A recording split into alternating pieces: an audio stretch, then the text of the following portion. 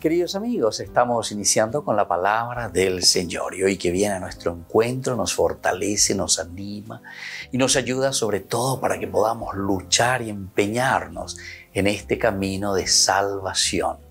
Hoy leemos, queridos amigos, el libro de Isaías capítulo 1 del 10 al 17. Escuchen la palabra del Señor, jefes de Sodoma, presten atención a la instrucción de nuestro Dios pueblo de Gomorra. ¿Qué me importa la multitud de tus sacrificios? dice el Señor. Estoy harto de holocaustos de carneros y de la grasa de animales cebados. No quiero más sangre de toros, corderos y chivos. Cuando ustedes vienen a ver mi rostro, ¿quién les ha pedido que pisen mis atrios?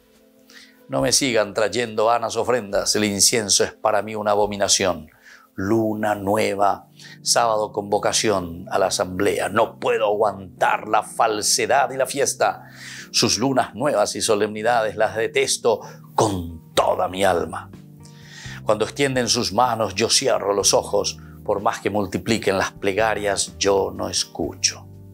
Lávense, purifíquense, aparten de mi vista la maldad de sus acciones.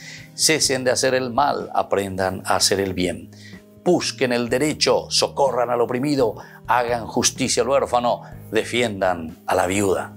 Queridos hermanos, opaco este oñan de yara heiba y teñan de ema la hei bota.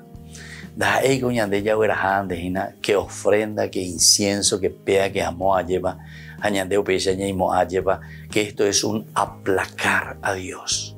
Nuestro Dios, el Dios del Antiguo Testamento y el Dios del Nuevo Testamento, nunca ha sido un Dios para ser aplacado. No estamos con la religión baja, no estamos con la religión que solamente pide milagros, signos o magias, queridos hermanos. Nuestra religión es un religarnos a lo existencial. Él es nuestro dueño y pone al Dios Todopoderoso Ñandeyara, nuestro dueño. Es decir, nuestra propia existencia está en manos de Dios, nuestra propia esencia está en manos del Señor.